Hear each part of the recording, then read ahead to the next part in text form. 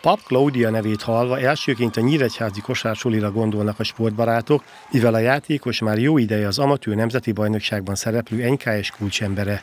Azt talán kevesebben tudják, hogy a fiatal irányító szülővárosában Újfehértón ismerkedett meg a sportág alapjaival, és máig is a város lakója. Elsősorban édesanyám miatt kezdtem el kosárlabdázni, hiszen ő is uh, gibiskora óta kosárlabdázott. Aztán, uh, mikor általános elsős voltam, a testnevelő tanárom uh, hívott be, hogy próbáljam ki, és utána azért szerettem meg. Újfehértó polgármestere Nagy Sándor köszöntőjében elmondta, hogy a város Szegedi Károly Kenus személyében már adott egy olimpikont a magyar sportnak.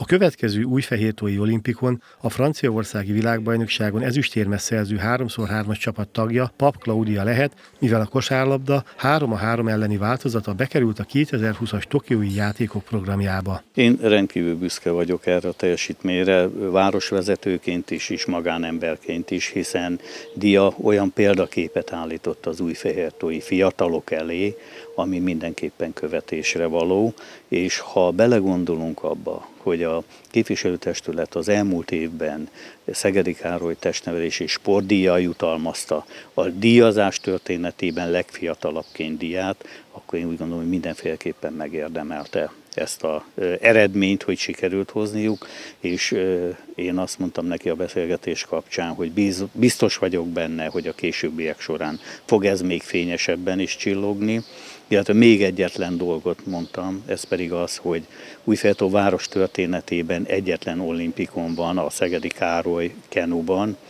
férfiként, és én bízom benne, hogy a későbbiek során, ha dia beérik teljesen, ő lehet a város történetében majd a 20-as olimpián, vagy az azt követő olimpiák valamelyikén az a hölgy, aki nőként olimpiát szerez a városnak.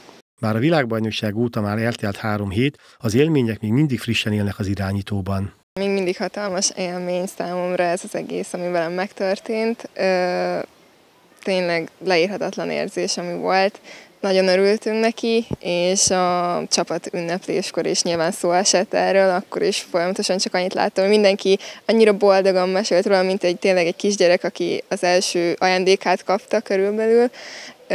Remélem, hogy még részt veszek egy ilyen hasonló élményben.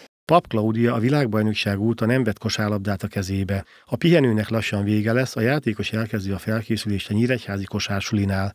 Bár több élvonalbeli csapat is hívta a 21 éves irányítót, tanulmányai miatt a következő szezont még az NKS-nél tölti a világbajnoki ezüstérmes.